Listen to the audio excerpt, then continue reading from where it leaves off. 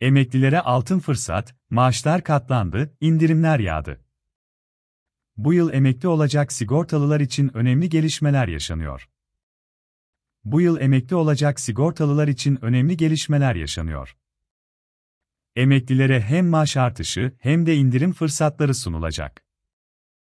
Emeklilere yapılacak maaş artışı, bu yıl %49.25 oranında olacak. Temmuz ayında yapılan enflasyon artışıyla birlikte, toplamda yıllık kümülatif artış %86.16'ya ulaştı. Bu artışlar, emeklilerin maaşlarına yansıtılacak. Taban maaş artışı Emekli maaşlarında yapılan yeni düzenleme ile, taban maaş 10.000 TL'den 12.500 TL'ye yükseltildi.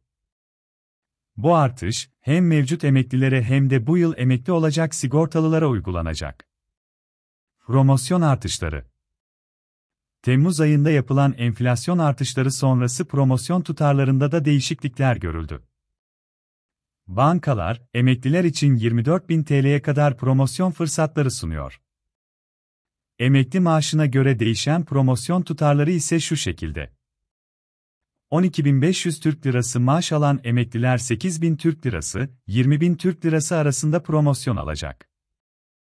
15.000 Türk Lirası, 19.999 Türk Lirası arasında maaş alan emekliler 10.000 Türk Lirası, 22.000 Türk Lirası promosyon fırsatı elde edecek.